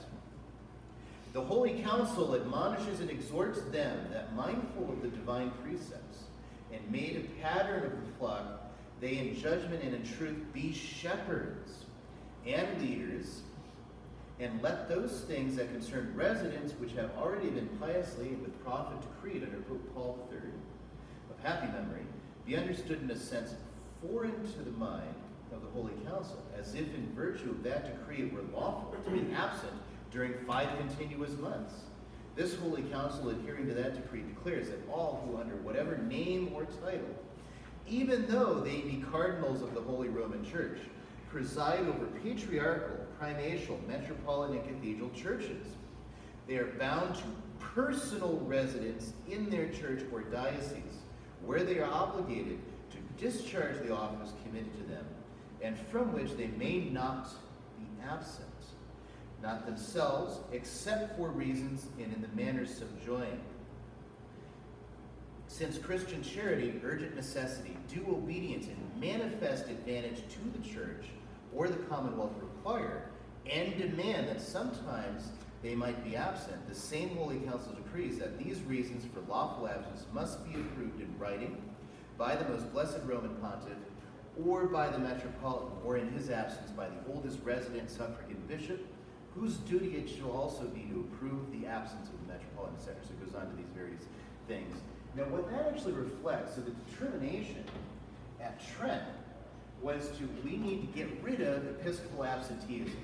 For example, Cardinal Pole, the very beginning, back in 1547. Whose fault is it? Ours. We bishops have failed the church, and now everything's bad because of us. So uh, uh, now, what the council is trying to do is, how do we make it so bishops have to reside in their diocese? How do we fix that? and yet, you know, what's the theological basis for it? So the Spanish theologians favored very strongly the idea that it was de jure divino, it's divine law that a bishop must reside in his diocese. But the problem was, you know, that basically means that for history, popes have violated divine law. And what if there is a legitimate reason to pull a bishop out of his diocese to do something for a short time? And then the curia, there's a big problem for the curia. It looks like we're getting close to reform of the head Reform of the head means all the guys in the curia that make their incomes off the curia, and the church is kind of like a cash cow. Their incomes are now going to be threatened, so they raise their voice. No, we can't have this. So it's a compromise. All right, you can be absent for a short time with reason, but you have to have written approval. You can't just be like oh, yeah, you have to have written approval. It has to be all authorized. You got to have all these steps involved, and it has to be publicized. This is why. So that's one of the things. So that's the kind of the, the all right, we'll give it to you, but only the most stringent circumstances. Now, unfortunately, episcopal absenteeism would continue, and but it would be much more rare, much more limited, and by the 18th century, it was unheard of. So, except in very rarest of cases. So the uh, so that's one of the, the first things. The next thing is the French finally make their arrival at the council. Francois I and then his son, Henry Henri II, had been fighting Trent for the entire time that it had been sitting previously. And the Calvinist problem we saw previously, they thought they could deal with it themselves. So then Marie de Medici, the Queen Regent, uh, she determines, for Henry II, she determines that we can take care of this Calvinist problem, no problem whatsoever. And so she even has a conference with the Huguenots in France, and they say, well, who are you? We're not going to listen to you. And that's when Marie de Medici says, wow, we have a real problem on our hands. So she finally allows the French bishops to make their way to, to Trent, and they actually give a very good contribution, namely, namely Cardinal Guise, who's also known as Cardinal Duke of Lorraine. He comes in and actually helps make affect a lot of compromises, such as this one on episcopal residency and several others. And so a lot of these big problems start to get uh, fixed. The seminary system, that also comes out of the decrees de reformatione. You have to have a, a facility, an actual institution where priests are trained for the future. Because again, we mentioned the um, vagrant priest before, right? And so if you're the priest and all your income's being siphoned off, you're fighting for whatever scraps you can get. Well, you don't want to take a guy under you as an apprentice and train him, right? Instead, you'll you know give him a few bucks to go out and say mass, and now he's like going to go out and say some half correctly pronounced Latin phrases to people doing little ritual actions, not even a mass, and then you know just to get some food out of it. Right? So the, this kind of situation had to go. So the seminary was the solution. Priests will be trained, they'll be educated, and then after this period, then they will receive holy orders, uh, or the fullness of in the priesthood. There's another great uh, tradition um, that uh, this is somewhat, there's a bit of legend mixed in with this. So Trent needed to reform church music. Now, polyphony was an evolution in the Middle Ages of, of uh, the one voice music that is basically plain chant, right? So everyone knows Gregorian chant. And then you have um, polyphony comes in where you have different lines of music that are all intersecting. Now, part of the problem was some of these were starting to take on secular tunes and become more and more secular. Some of them were becoming really confused and obnoxious. Some of them were being done in the vernacular and, and, uh, and would have Latin sections that would mock the priest and other things. And uh, mock the local bishop or have some heresies written into it because the choir master is smarter than the priest is and he's never going to catch it. So you have things like that and there's almost no control and oversight. Sequences, so if you know, like we just had Easter, the great sequence of the Victimae Paschali Laudis, was one of my favorite during the year. Well, that just came out um, in the 1400s, and a number of these other ones, they, they were uh, written up, and some of them were excellent pieces of music, and some of them not so much. So Trent decides to abolish all the sequences except for four, and then later the Stabat Mater gets added to it. It's like an exception, so it becomes five. The uh, monoph- uh, polyphonic music is thought has to be reformed or it has to go. So there was a fear that Trent would try to eliminate all polyphony, make it all return to plain chant which nobody really wanted to do. A lot of the tradition of plain chant kind of ossified. It was longer, and more drawn out, and less um, wholesome. So the uh, so they bring in uh, Palestrina. He was so Piero Luigi Palestrina was from that city, as the name of the city, and so he composed a mass in favor of Pope Marcellus, the great reforming pope. I'm not sure if this is going to play it. No, I didn't play it. Physically come over here, so I just want to play a small section of that.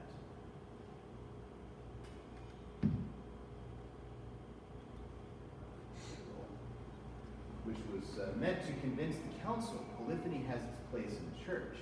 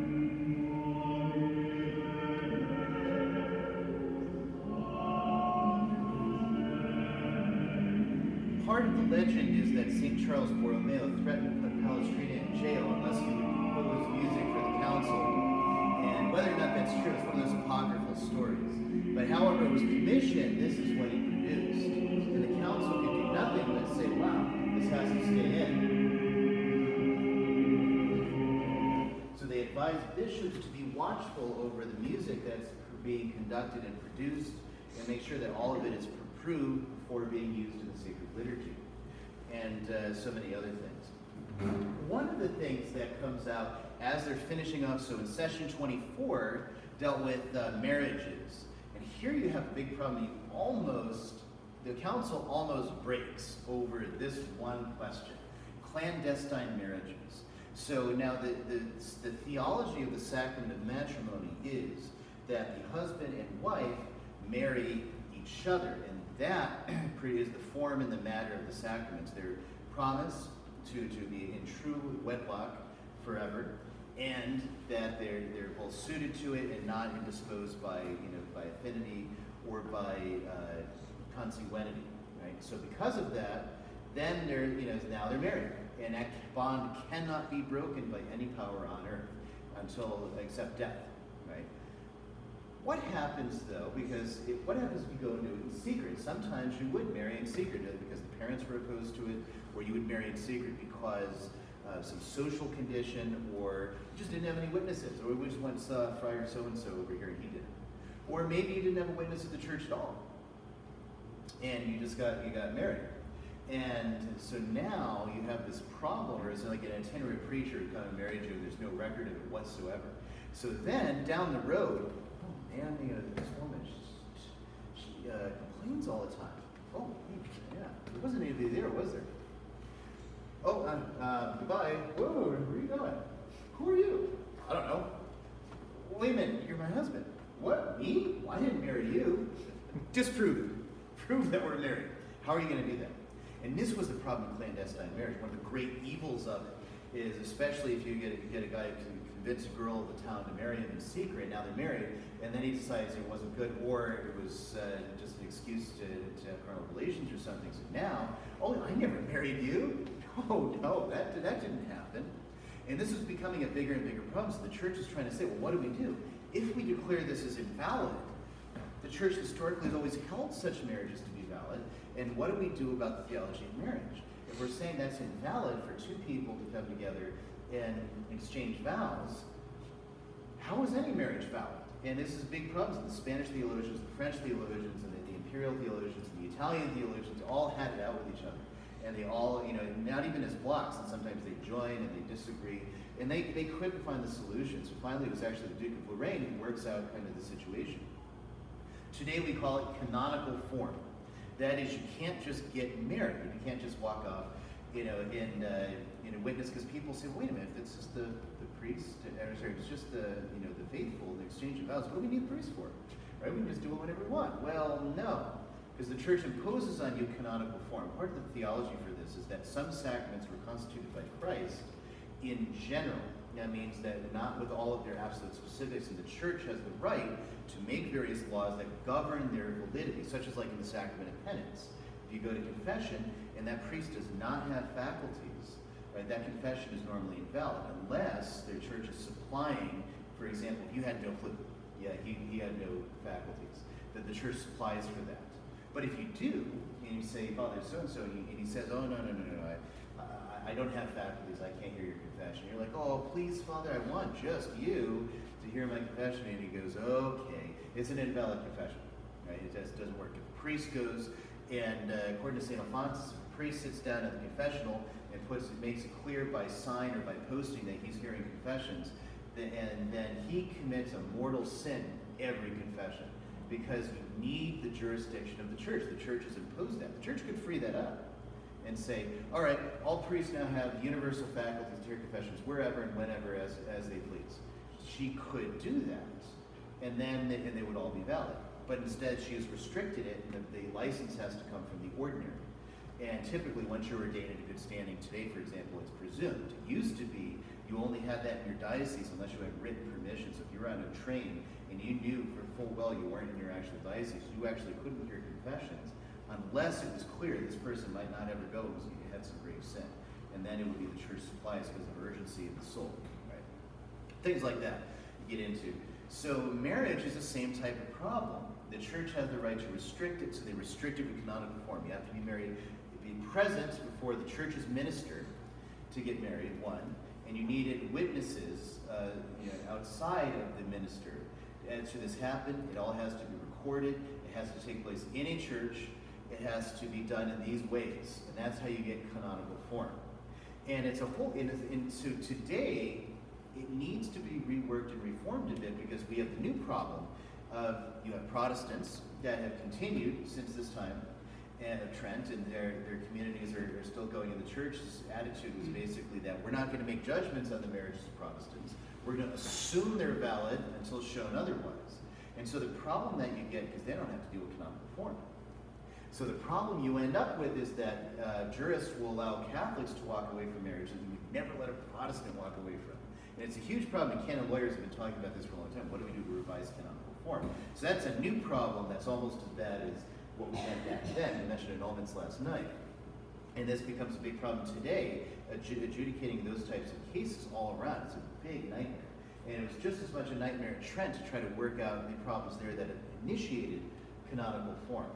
So that's one of the, the issues that nearly broke the council, and at the end of the day it was saved. So finally, some more decrees and reforms, and, and it's all in the 25th session, and then at last, the council's promulgated. Pius IV sets up the work to allow all that to get put in place, and he dies. And God really said, you know what, it's going to take a saint to make this happen. And so thus he uh, gets St. Pius V. Pope St. Pius V, uh, Michele Ghislieri, he was a Dominican and he was part of the Roman Inquisition, very close friends with Carafa, later Paul IV. And Pius, because he was associated so closely with Paul IV, when Pius IV becomes Pope, he more or less uh, exiles Ghislieri and gets out and uh, you know did, not want him in the Inquisition, didn't want him involved in of the church because he was too close to Paul IV, who was half mad. It's like who knows about this guy?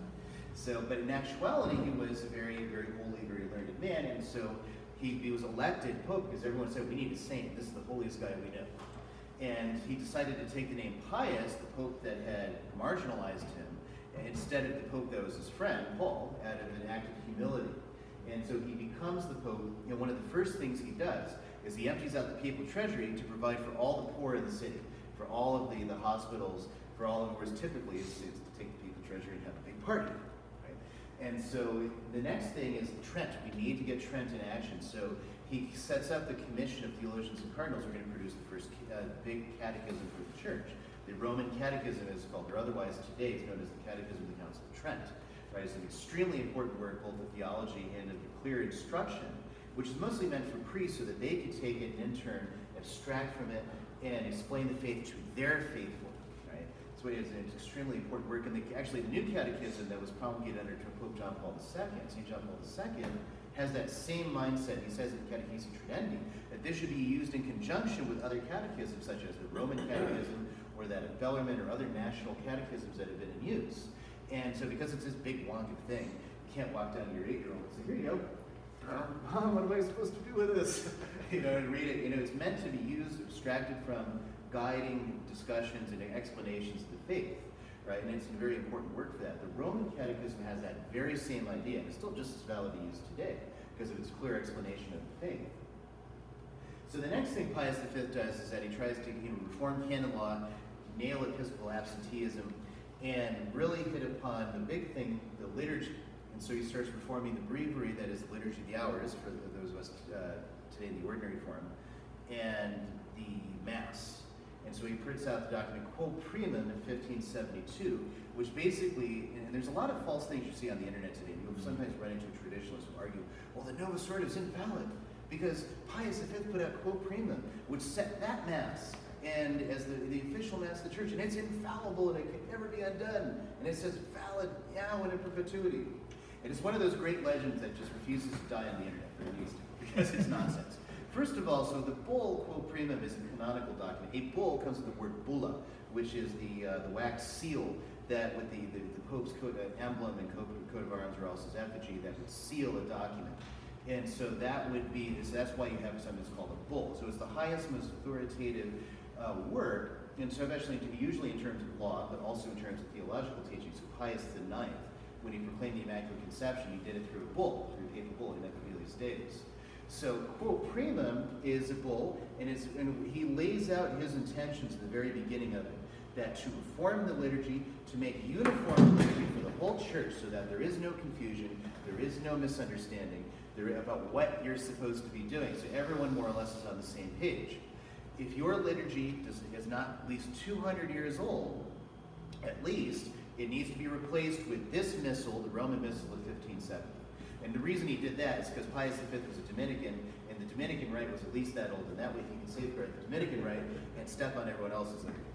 But um, anyway, so needless to say, I'm not a huge fan of the way he did this because there's a lot of local custom and liturgies in Europe that had a real pedigree and simply could not show because the jurists say 100 years is immemorial custom, and now he's doubling it, and it seems somewhat onerous in that. Um, you know, and I'm not a big fan. Maybe that means my trad credentials have to be called into question. But it's, uh, I'm not a huge fan of that particular element of the reform. But you understand why he did it, and it was necessary. So the Lutherans start out using a mass that's basically the mass in all things, except when you get to the canon, it just skips right to the consecration. But it was still being done in Latin. And they would probably still even have valid sacraments too, because at least the priests that had come over as long as they were doing, intending to do what the church does in some uh, basic sense. The um, other other Protestants too would use some liturgy. Some Catholics would intermix things that Protestants were doing. Some Catholic clergy had Lutheran or Calvinist leanings, would introduce things into the liturgy. So it had to be made clear, just as it was made clear in Trent, that on your own authority, a priest, a pastor of the church, a bishop can't just institute brand new rites that nobody's ever seen before. Right? Now all this has to come to us from the church. So that's what Pius V is making clear in Quo Primum.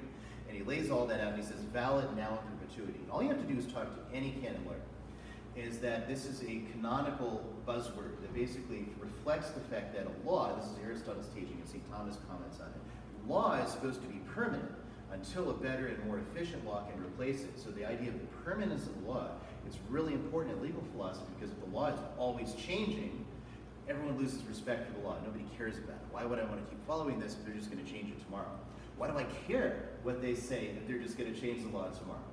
So that's why they say valid now in perpetuity, because it's supposed to be, unless you know, a new and more perfect law would replace it. Otherwise, if that meant that it's going to always be you know, valid forever, so would Clement XIV's uh, suppression of the Jesuits, which says valid now and in perpetuity. Except that 30 years later, Pope Pius VII withdrew it, reconstituted the Jesuits. So anyway, so that's what Pius V was getting at with Quo Primum, and it was extremely successful in bringing liturgical peace, imposing all the regulations of Trent. Music normalizes, the liturgy normalizes, and the, uh, the life of the church now is able to proceed. And so this is one of the things that helps the Counter-Reformation really make its impact in identifying and molding the Catholic soul, is that its liturgy was set, unified, beautiful, properly taught the faith, and again, everyone knew exactly what to expect with it. Pius V personally was extremely holy. He was very uh, concerned about the state of Rome. That in spite of you know great saints working in it, like Saint Philip Neri, we'll see, there was you know you still had prostitutes, a whole ton of them, and uh, you know it makes Hooker's Battalion look bad in the city. or look good because there's, uh, there's it's a male city. It's largely a male city. It's because you have so many clergy, heads of religious orders, celibate clergy, and so you have local nobility, Roman nobility, and then you have you know wayfarers, you have mostly men and others in the city. And so the local female population is a lot lower than the male population. So the prostitutes are kind of seen as like a sort of necessity, and it's a bit of a holdover from older times. So Pius V first, his plan is to outlaw it absolutely and completely. And then, you know, it's like, but his advisors, you know, basically tell him, that's not really possible. All the diplomats, all of these different things that we have, we really can't do it. So why don't you just exile them to the more seedier parts of the city where likely people aren't going to go? And maybe the problem will fix itself. So he did. So he, so he goes into the northern uh, parts of the Tiber by the Ripa. He has uh, all the all the prostitutes that he exiled over there, and it's called in a region called the Ortaccio. which actually itself means a bad garden because nothing really grew there well because of the sun. So a, it, that name got turned around to be the evil Eden. And that's where the Ortaccio was taken to mean, the evil Eden, because that's where all the, all the prostitutes are. And it's also where a lot of painters coming into the city will take up. And for example, it's where Caravaggio ends up when he, he shows up in Rome. But anyway, then the next goal that Pius V had is to establish convents of nuns for the reformation of prostitutes. Over in Trastevere, he has found a couple of Carmelite orders, which would then work for the restoration, uh, the reformation of harlots that want to get out of that life. Because that's the hard thing. You get out of it, A, your public repute is really bad. B, you're spiritually and psychologically damaged from all this. And C, you have no means except sin to keep yourself going. So the convents are an excellent halfway house to try to get, whenever possible, at least the spiritual consolation for the person, confession, reform of life, teaching them trades and skills so that they can go back out and maybe somewhere else and be respected and then have a better life or even stay in the convent as nuns, depending. And so that, and which is one of, one of his main goals. Uh, Pius V also uh, set the standard for holiness very, very high. He would go out and uh, daily after, ma- after making prayers near the office, he would go out and if he saw a poor person in the street sometimes, he would get down and he would actually kiss the man's feet and give him uh, some money and send him on his way. A Protestant witnessing this immediately converted an English Protestant because he said that Queen Elizabeth would never condescend to do anything like that, even for the most handsome nobility, let alone for some poor beggar. So he said that, you know, this has to, you know, this guy's for real. And because of the example of Pius V, no future pope could ever go back Julius III style to the, the Renaissance period of, of living.